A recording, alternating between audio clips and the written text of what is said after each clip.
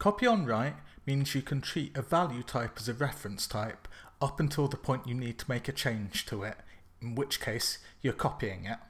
So there's a few things to go through here, reference types, value types, and copy on write. So let's get started.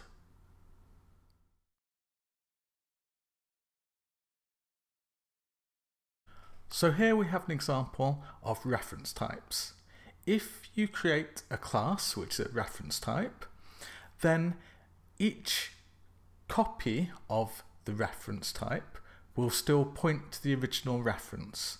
So myrect and secondRect in this example both point to the same rectangle instance. You're not creating a true copy, you're pointing to the original instance. So that's reference types. Value types, which is structs and also most of the Swift primitive types like integer and string.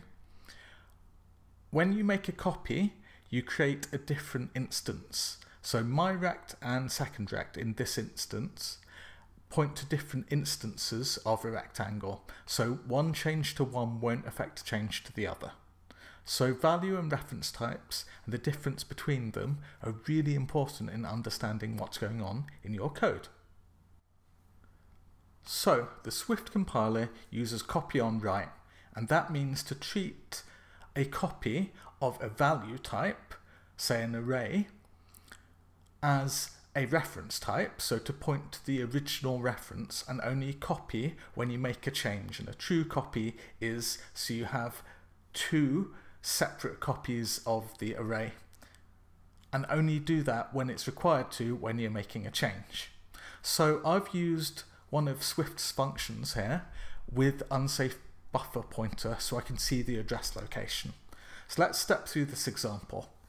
Swift is using copy on write, so it's going to use the same reference, so both arrays will point to the same location until we make a change.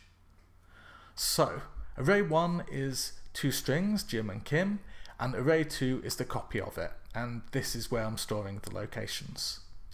So array 1 happens to be in this location. Perfect.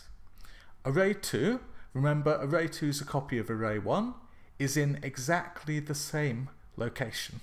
So it's treating these two, array 1 and array 2, as pointing to the same memory location which is how you would treat a reference type. So we can check for that, and it actually works out to be true when we print this to the console. So if I make a change to array 2, because they're pointing to the same memory location, then in theory you'd change both of them. But Swift doesn't do that, as you know. So what happens is, well, Swift uses copy on write. We're going to make a write, so array 2 suddenly has a different address location. So it's not pointing to the same location as soon as we make this change, and this would be false. And I just want to tell you, if you run this on your own machine, you'll get a different address locations. Probably, it's very unlikely you might get the same ones. And if you print the result at the end of this, what array 1 and array 2 is, it's as you'd expect as in array 1 would have Jim and Kim and array 2 would have James and Kim. And that proves that we're using copy on write. Well, where Swift is using it. You can actually implement it yourself. If you look at the article in the description, it explains how to do just that.